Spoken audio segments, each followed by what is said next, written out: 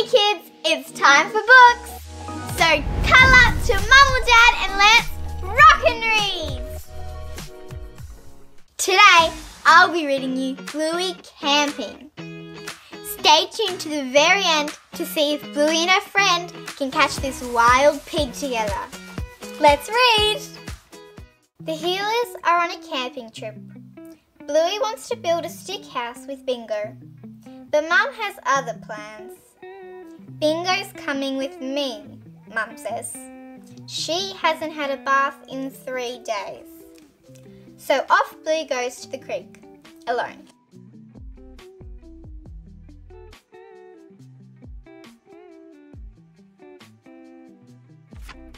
As Bluey searches for sticks, she hears a voice. Bonjour. Hi, my name's Bluey. Salut, Bluey. Jean-Luc. Bluey doesn't understand what Jean-Luc is saying, but that doesn't stop them building a stick house together. Oh, c'est très beau. Now we need some food to eat, says Bluey. We can plant this seed like farmers. This will grow into a big tree with fruit on it.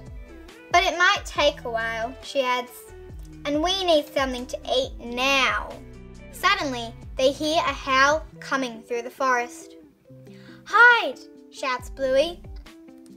Snuff, snuffle, snort. It's a wild pig, Bluey says. Sanglier, says Jean-Luc.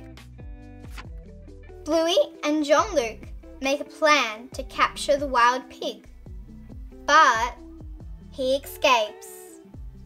Never mind. Bluey, dinner, Mum calls. Then Jean-Luc's dad calls to him. Jean-Luc, dinner. See you tomorrow, Louis says. They both run off to their families. The next morning, Bluey and Jean-Luc are ready to play. Jean-Luc, bonjour. Hmm, no fruit tree yet. We need a better plan to catch that wild pig, or we will have no food for the winter. I've got an idea, Bluey tells Jean-Luc. My dad taught me how to do this. Hey kids, I hope you're enjoying the book so far. I want to take a quick moment to remind you to subscribe to our channel if you haven't already so you can stay updated and never miss out on our videos. It's free and it helps out a ton. Bluey scares Wild Pig. Wild Pig runs away. Jean-Luc jumps out. Hooray! They wait until they hear the wild pig roar. And then... Yeah!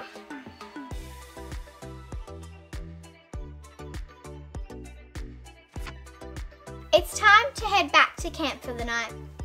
Goodbye, Jean-Luc, says Bluey happily. See you tomorrow. Non-Bluey, Jean-Luc calls. Au revoir. The next morning, Bluey discovers that the seed they planted is growing into a little tree. Jean-Luc, come quickly! Jean-Luc! Jean-Luc? But she can't see Jean-Luc anywhere not at his campsite or at their stick house. Jean-Luc. Bluey runs back to Mum, who tells her that Jean-Luc must have left. His holiday is over. What? says Bluey. You mean they're gone? I'm afraid so, sweetheart. That night, while Bingo has a bush wee, Bluey asks Mum why Jean-Luc had to leave. Sometimes special people come into our lives, stay for a bit, and then they have to go, says Mum. But that's sad, says Bluey. It is, says Mum. But the bit where they were here was happy, wasn't it? Yeah, we caught a wild pig together, Bluey says. Maybe that makes it all worth it, says Mum. Will I ever see him again? asks Bluey. Well, you never know, says Mum. Years later, after the tree had fully grown. Bluey and Jean-Luc met again. The world's a magical place. Hello, Bluey.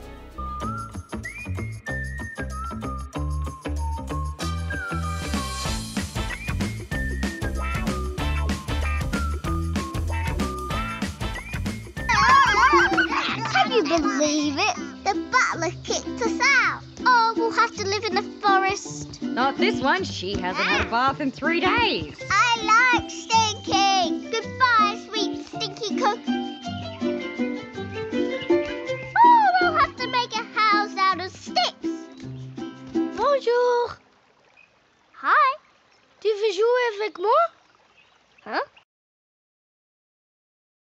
Thank you so much for joining me to read tonight. I hope you have a great night. And if you'd like to see my next book, remind mom and dad to subscribe. See you next time.